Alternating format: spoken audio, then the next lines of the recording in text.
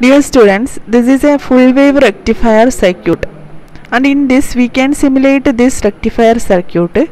See, you can run simulation. You will be getting the output waveform here like this. Okay. So this is not the waveform. You will be getting the output waveform like this. Once again, you can simulate this. Just run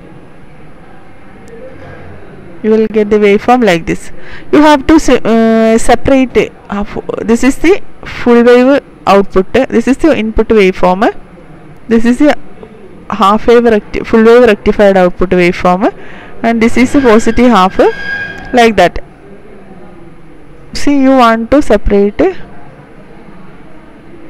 different waveforms for that. Here v negative half v positive half and v output will be there so let us see what is v um, v positive half how will you get.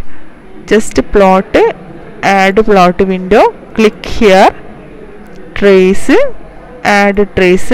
What you have to v positive see v positive. Let, let us search v positive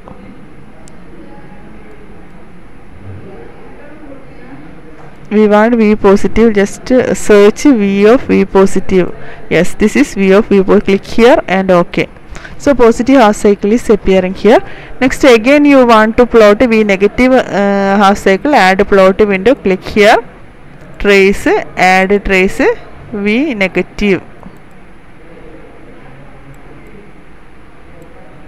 Yeah, this is v neg half okay so negative half is appearing. There is some mistake. The sum of the positive side is appearing. Even though the plot is like this we are uh, once we are simulating that circuit we are getting the negative cycle like this. We are obtaining a smaller portion of the positive cycle also.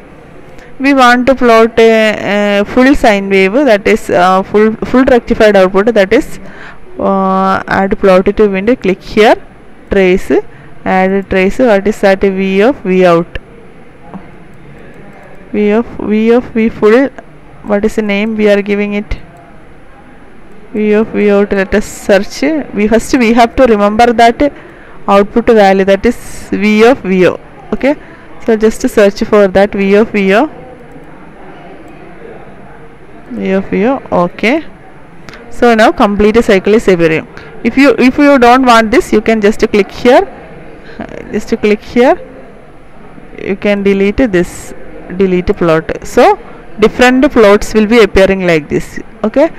So this is the way we can separate the different plots. If all the plots coming into the same mm, uh, graph then we can separate each of the plot like this okay? That's all about this video. Thank you